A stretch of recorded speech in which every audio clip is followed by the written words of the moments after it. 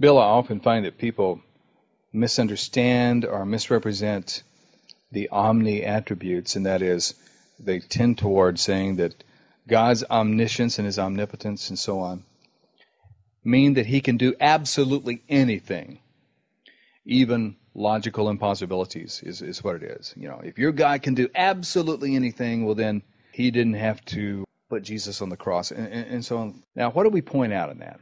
Well, I think we point out that that's a faulty definition of omnipotence. Omnipotence doesn't mean the ability to do the logically impossible. God can do all things, but in one sense, to make a square circle or a married bachelor is not a thing. There is no such thing. Those are just logically contradictory combinations of words. And so God cannot act contrary to his own nature. He cannot uh, sin. He cannot be unholy. Uh, he cannot be unloving. Uh, God has to act consistently with his own essence.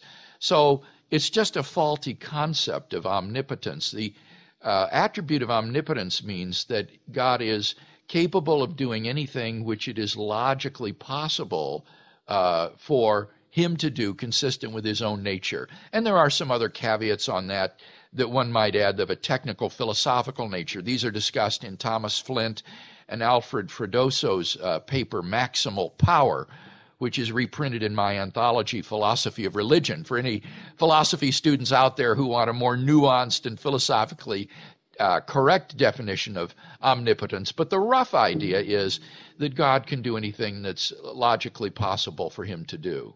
We need to get that definition straight uh, in the Christian world and also in the skeptical world so that we're not talking past each other when we're talking about that.